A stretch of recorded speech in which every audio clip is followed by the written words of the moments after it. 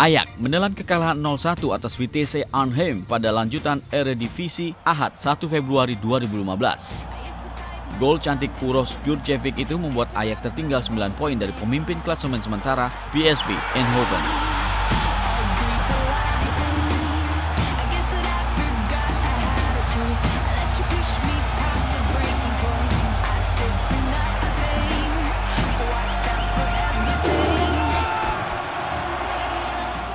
Skuad Frank de Boer sebenarnya berhasil membuat beberapa peluang membobol gawang lawan. Namun usaha Anwar El Ghazi masih diblok back Vitesse Bertrand Traore. Namun hingga turun minum kedudukan bertahan dengan skor kacamata.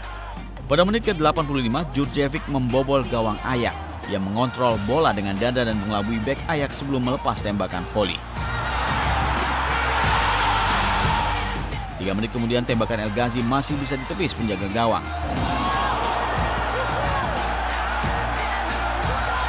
Kedudukan 1-0 tidak berubah hingga wasit meniup peluit.